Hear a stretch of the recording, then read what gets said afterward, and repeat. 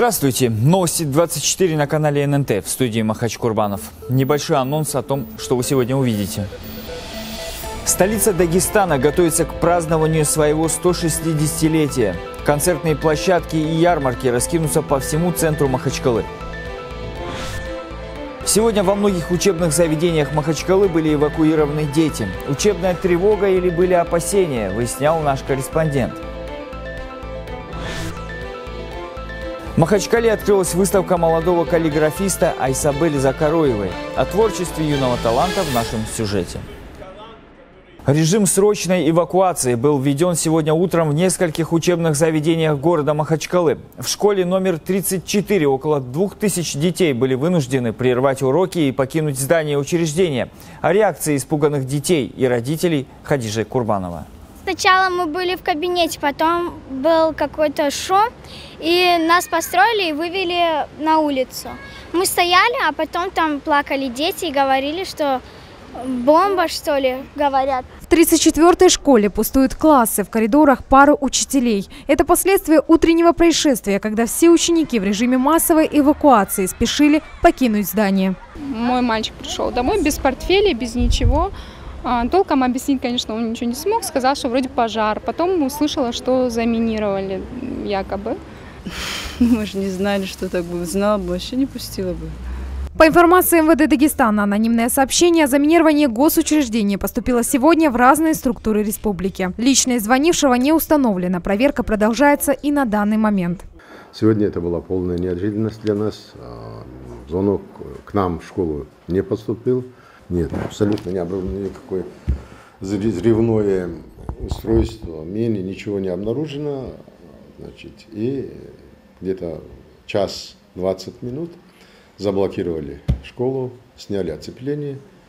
Сейчас в школе номер 34 первая смена должна была смениться второй, но все ребята не пришли в школу, так как обеспокоенные родители попросту не отпустили детей на занятия. Хадижа Курбанова, Нурмагомед Магомедов, телеканал ННТ, Махачкала. Завтра и послезавтра столица Дагестана отмечает свой юбилей. В Махачкале пройдут праздничные гуляния, концерты и выставки народных промыслов Кавказа. На каких площадках развернутся основные мероприятия, узнавала Ума Ибрагимова.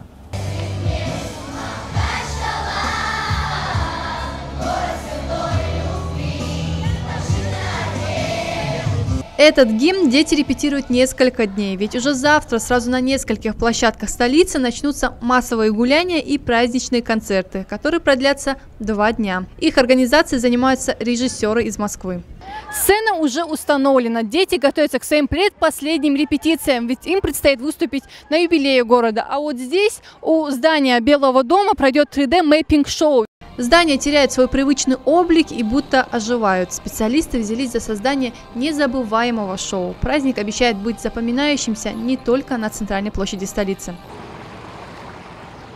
Уже завтра аллея «Город мастеров» станет одной из площадок, где будут проходить праздничные мероприятия. В день юбилея города будут закрыты многие улицы и проспекты. Однако для горожан нашей республики будут открыты дополнительные пешеходные зоны. Куда же они отправятся гулять? Давайте узнаем. Ну, наверное, был, остался бы здесь. Здесь, да. Ну, например, вот на улице Ленина, конечно, там же... Ну, я пошла бы и здесь, на Ленина, ну, я на больничном. Я, скорее всего, пойду на парк Дружбы. Пошла бы, вот, город мастеров, площадь, очень даже красивый Родотский бульвар. Ну, скорее всего, здесь провела бы. Ну, Тут как-то в последнее время тут очень много людей там проходит. Сергей приехал в столицу республики три месяца назад и уже сформировал свое мнение о Махачкале и ее жителях. Отлично, отлично. Люди добрые, вообще замечательно все. Природа мне нравится, природа. Сам город, конечно, ну так он еще поднимается, инфраструктура, я думаю, должна стать получше в скором времени, надеюсь на это. До начала празднования остались считанные часы, подготовка уже завершается. И совсем скоро жители смогут окунуться уже в новую, праздничную, 160-летнюю Махачкалу. Ума Ибрагимова, Гелач Курваналиев, Нурмагомед Магомедов, телеканал ННТ, Махачкала.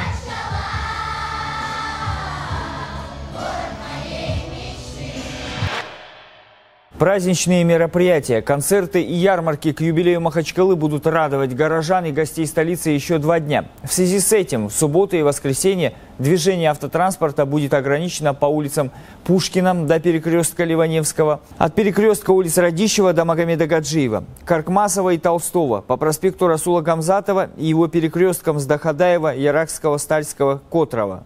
Также будет перекрыто движение транспорта по улицам Яракского и перекрестков с Николаева и Нахимова, по проспекту Шамиля, Шамсула Алиева и Ташкентской, включая второстепенную дорогу, примыкающую к аллее мастеров. Улицы Горького, Буйнакского, Даниялова, Гусаева и Дзержинского тоже будут перекрыты. В преддверии хаджа в соцсетях по Дагестану разыгрывались путевки в священные земли Мекки и Медины. После жеребьевки среди множества претендентов были отобраны 40 победителей. Многие из них совершили паломничество впервые. Специально для них руководство проекта организовало праздничное мероприятие. Хадж – заветная мечта каждого мусульманина. Для его совершения требуется немало денег. Верующие готовы отдать последние сбережения, чтобы попасть на святые земли и исполнить свой долг. Но как быть, если этих сбережений не хватит, чтобы отправиться в главную поездку в жизни? Благодаря проекту Умара Хадж у многих появился шанс. В декабре прошлого года мы решили организовать конкурс а, на путевку, на, на розыгрыш бесплатных путевок на хадж и на умра. Мы вообще думали просто одной-две путевки разыграть и оставить, но когда увидели наплыв людей, увидели как люди реагируют на это все. Мы решили это продолжить и обратились в хадж-компанию Марватур, и они нас поддержали, вообще Муфтият нас поддержал. Я просто слышала, что очень часто слышала, что люди хотят совершить хадж, что у них нет возможности, то еще что-то. И тогда, получается, разыгрывали айфоны, мы решили придумать альтернативу. Зачем вот эти яблочные призы? Подумали, лучше что-то такое, что принесет пользу. Пожилому участнику конкурса Абдулу Муталибу Гази Магомедову удалось совершить обязательное паломничество в преклонном возрасте. Еще в детстве он помнит, как вместе с отцом они мечтали совершить хадж. Благодаря проекту Умра Хадж Гази Магомедов попал на святые земли и, как говорит он сам, впал в изумление. Впечатление от поездки до сих пор не покидает его. Вообще я как очарованный странник. Говорят, ну я как очарованный паломник. Я не мог выходить из территории хаджа Кааби. Я две-три ночи там ночевал. Меня даже искали. Я много пил замзам. И это мне, может быть, даже обновило организм. Я как будто помолодел. И очистился мой организм, я стал здоровее. И ощущения у меня очень светлые. Среди участников конкурса были и подопечные фонда «Инсан». Одна из них, Камила Живлакова. Шесть лет назад она приняла ислам. Узнав о столпе ислама хаджа, она поставила перед собой цель совершить его. В этом году ее мечте суждено было свершиться. Когда я в Махачкалу приехала, я э, тоже подавала заявку как бы участвовать э, в хадже, но у меня тогда и прописки не было, и ничего не получилось. Очень хотелось еще в 2013 году как бы попасть в хадж. Ну вот мне эта возможность только в этом году предоставилась. Алихамдулля.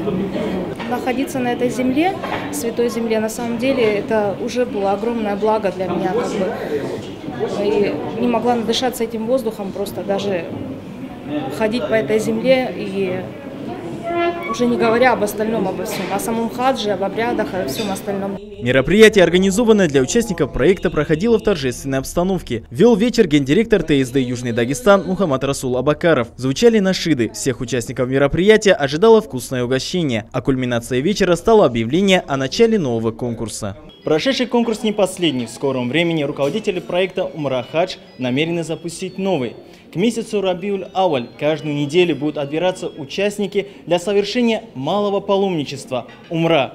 Как обещают организаторы, их количество будет гораздо больше. Абдулла Алиев Магомед Магомедов, телеканал ННТ, Махачкала. Уроженец Дагестана выдвигает свою кандидатуру на пост президента России. Социал-демократическая партия намерена выдвинуть своего кандидата на президентских выборах, которые пройдут в марте 2018 года. Партия объявит о выдвижении своего лидера Сираждина Рамазанова осенью после официального объявления начала предвыборной кампании. За плечами Сирождина Рамазанова богатый опыт политической борьбы. В политике более 20 лет, в том числе уже 5 лет является председателем партии. Дважды выдвигался в Мосгордуму, а также провел две большие избирательные кампании в Госдуму Российской Федерации, сообщает пресс-служба СДПР. В настоящее время лидер социал-демократов представляет СДПР в Совете политических партий при Московской городской думе. Где в Махачкале пролегала улица имени Борятинского и как выглядел храм Александра Невского? Какими были самые оживленные проспекты нашего города 160 лет назад?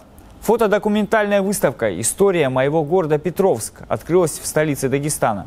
В путешествие во времени отправилась Лариана Шамхалаева. Фотографии, повествующие о том, как на горе Анжиарка в 1844 году было заложено военное укрепление. Позже построена крепость, а рядом расположены первые кварталы Фордштата, состоящие из 30 домиков. Местность в память о побывавшем здесь императоре предлагалось именовать Петровском. По словам организаторов выставки, фотодокументы экспозиции приоткроют завесы тайны дореволюционного городка и его жителей. Город, в котором мы живем, должен быть любимым. А для того, чтобы его полюбить, а, нужно побольше знать о нем. Причем не только каких-то сухих не какие-то сухие исторические факты, а такие, такую человеческую историю, историю повседневности, которую как раз вот мы максимально попытались представить э, в материалах, которые у нас есть в собрании музея. Петровске к 1904 году было уже 15 улиц. Наиболее оживленными в городе были районы железнодорожного вокзала и морского порта. Популярными считались прибрежные улицы – Базарная, которую теперь именуют улицей Пушкина, и Борятинская, ныне Буйнакского. Я очень часто люблю гулять по проспектам нашей столицы, а, и он меня очень вдохновляет. Особенно меня заинтересовала вот эта улица Буйнакского в 20 веке, какая она была. Одни, надев очки, рассматривали вблизи черно-белые снимки старого поезда, других интересовали лица администрации Петровска в разные периоды. На выставке присутствовали как взрослые, так и дети. Юные зрители пришли познакомиться с городом своих предков. Меня мама сюда привела. Я всегда бываю на выставках, во всех театрах хожу. И я, мне это все дает, я много узнаю. Отправиться в Махачкалу второй половины 19 века и начала 20-го может каждый гость и житель столицы. Экспозиция проходит в Театре поэзии и продлится до 7 октября. Лариана Шамхалаева, Гаджи Магомедов, телеканал ННТ Махачкала. В Махачкале сегодня прошло открытие выставки юного каллиграфиста Айсабель Закароевой. Девушка представила зрителям картины, в основе которых арабская каллиграфия. Окунулся в творчество и фантазию автора и наш корреспондент. Это стихотворный конь арабского поэта Махмуда Дарвиша, и в самом коне написано стихотворение, посвященное его коню, а нижняя надпись, она является подписью подлинного автора. Так Айсабель Закароева объясняет посетителям выставки значение и идею своей работы. У каждой картины своя история, свой герой и своя особенность. Я в своем видении исполнила его работу, в арабской каллиграфии. Эта картина светится в темноте, в нем она накапливает свет, а когда в комнате полный, полная темнота, она начинает отражать частички света, и то есть в темноте вы спокойно можете прочитать ту надпись, которая написана. Каллиграфия не является профессиональной деятельностью Айсабель, это всего лишь ее хобби. Девушка учится в Санкт-Петербурге на архитектора. Каллиграфией увлекается 5 лет, но уже имеет свою аудиторию и поклонников. Этот подход связан именно с увлечением э, девушки, изучением арабского языка. Думаю, что именно арабская каллиграфия как бы успокаивает, умиротворяет. Татьяна Беляева приехала в Махачкалу исключительно на выставку молодого каллиграфиста. Делится, что работа Айсабель нравится ей уже не первый год, а любимая работа – картина под названием «Бабочки». Она создает такое ощущение вот какой-то какого-то тепла, домашнего очага, и вот с такую частичку чистоты и любви будет передавать дому. Вот такой работы очень хочется, конечно. О яркости этой работы Татьяна упомянула неспроста, ведь картина светится ночью. Но помимо этого, если перевернуть фигуры бабочек, можно прочитать такие надписи, как «Альхамдулиля» и «Аллаху Акбар». Выставку посетили все любители арабской каллиграфии. Эта письменность, на их взгляд, самая интересная. Работа Айсабель привлекли тем, что до нее выставок такого рода в Дагестане практически не было. Все-таки э, а, у нее есть своя специфика, связанная с тем, что э, э, арабская графика, она же э, представляет собой непрерывную вязь, и в связи с этим здесь есть свои э, как бы нюансы, своя, своя прелесть, своя красота. Отметим, что выставка носит благотворительный характер. Все вырученные средства будут направлены в благотворительные фонды «Инсан» на помощь нуждающимся детям. Девушка Исабель и известная не только в Дагестане молодой доктор а, Амина Юсупова, а, они придали этой выставке благотворительный характер, что не могло а, не затронуть, не привлечь всех тех, кто узнал об этой выставке. Выставка проходит на втором этаже Кумыкского театра и продлится до 30 сентября. Ума Ибрагимова, Гелач Курбаналиев, телеканал ННТ, Махачкала. Курс валюты на субботу 23 сентября. Доллар 57 рублей 65 копеек, евро 69 рублей 7 копеек. Наши новости также есть на сайте nntv.ru. Я желаю вам приятных выходных. Не переключайтесь.